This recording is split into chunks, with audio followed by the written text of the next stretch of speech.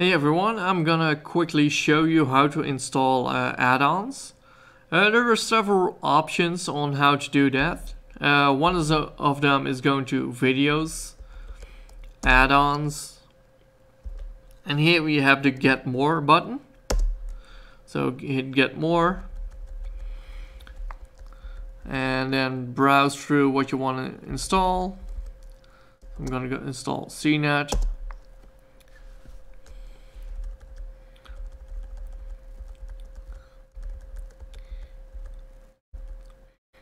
And Crunchyroll.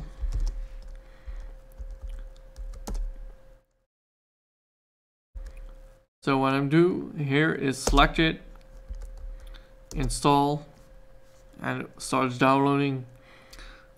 So I'm not gonna back out again. And as you see here, it's now installed. The other option is going to System, add-ons. And here you see I'm at the same level. So if I now back out I'm actually in the repository. So here you see all the other categories you could install uh, add-ons from. So I'm gonna pick uh, programs artwork downloader install I'm gonna also install Trakt. I'm gonna hit Shift TR.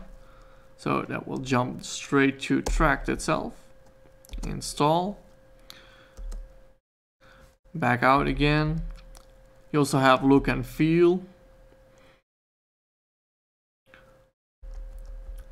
So here you can install uh, different sounds, languages. I'm not gonna do that now. Remind me later. So also skin, screensavers.